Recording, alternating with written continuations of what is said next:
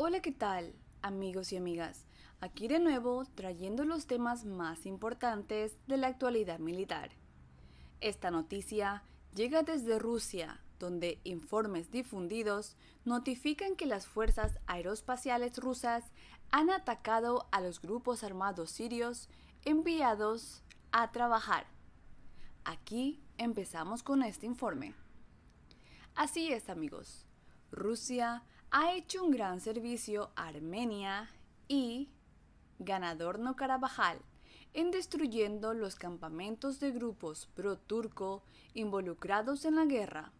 Así lo dijo el sitio de noticias ruso .pro después de que fuentes sirias informaran de que varios cientos de mercenarios por Ankara habían sido enviados desde la provincia siria de Yela a la República de Azerbaiyán.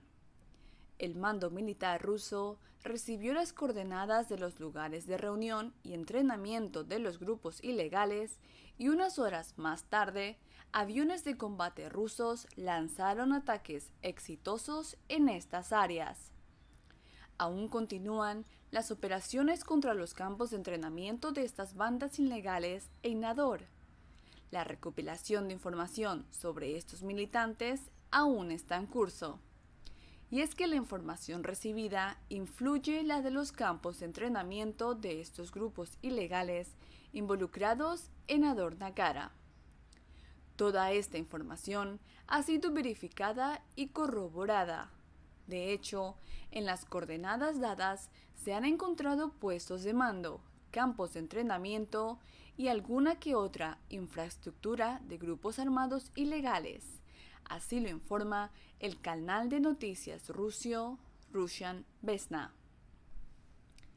A juzgar por la magnitud del envío de militantes sirios turcos a Azerbaiyán para llevar a cabo hostilidades en Magot, se puede suponer que casi varios cientos de ellos fueron neutralizados y aunque las cifras ofrecidas por el Observatorio Sirio de Derechos Humanos, con sede en Londres, hablan de hasta 107 personas hasta el momento, este éxito se produjo cuando Rusia se involucró, proporcionando no solo un apoyo considerable Armenia y Nagorno-Karabaj, sino también a Siria, al eliminar a enemigos que ya no podrán regresar a ese país.